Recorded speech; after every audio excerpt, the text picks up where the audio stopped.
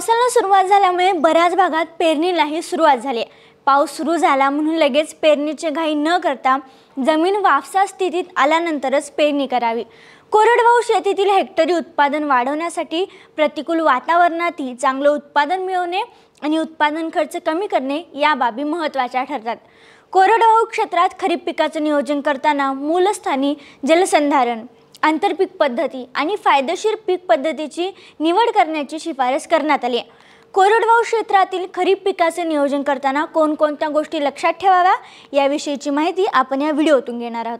नमस्कार मी संजना तुम्ही पाहता ॲग्रोवन भारी जमिनीमध्ये सोयाबीन तूर मूग ज्वारी कापूस या पिकाची लागवड करावी.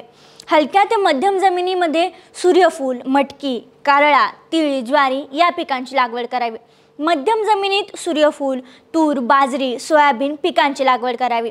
तर हलक्या जमिनीमध्ये बाजरी कुळीत तीळ कारळा एरंडी भगे या पिकांची लागवड करावी. पेरणी योग्य पाऊस होताच म्हणजेच पंच्याहत्तर ते शंभर मिलीमीटर पाऊस होताच पेरणी करावी. पेरणीबरोबर रासायनिक खतांची मात्रा द्यावी. पाऊस उशिरा झाल्यास आपत्कालीन पिकाचं नियोजन करावं. मूलस्थानी जनसंधारण करता रुंदवरंबा सरी पद्धतीने पेरणी करावी. पाऊस झाल्यानंतर तीन दिवसांनी वखर पाळी देऊन पेरणी करावी. जेणेकरून उगवत्या तणाचा बंदोबस्त करणं शक्य होतं. जमीन पाऊसमानानुसार पीक पद्धती निवडावी. यामध्ये मध्यम ते भारी जमिनी सोयाबीन तूर कापूस खरीप ज्वारी मूग उडीद ही पिकं घ्यावीत. हमखास पाऊस असलेल्या क्षेत्रात दुबार पीक पद्धतीचा अवलंब करावा. लागवडीसाठी लवकर येणाऱ्या जातींची निवड करावी. पेरणीसाठी प्रमाणित बियाणांचा वापर करा. सोयाबीन तूर मूग उडीद यांचे बियाणं तीन वर्षापर्यंत वापरता येतं. जमिनीची मशागत व पेरणी उताराला आडवी करावी. त्यामुळे पावसाचं पाणी जमिनीत जास्त मुरून पिकांना फायदा होतो.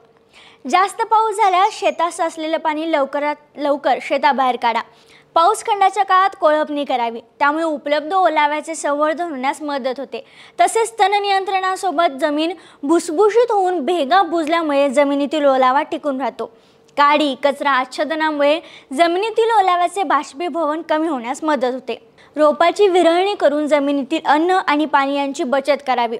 त्यामुळे झाडांची योग्य संख्या राखली जाते. या माहितीसोबत इथेच थांबूया. आमची ही माहिती महत्त्वाची वाटल्यास लाईक आणि शेअर नक्की करा. आणि अशाच माहितीसाठी अपडेटसाठी ॲग्रोवनच्या यूट्यूब चॅनलला नक्की सबस्क्राईब करा.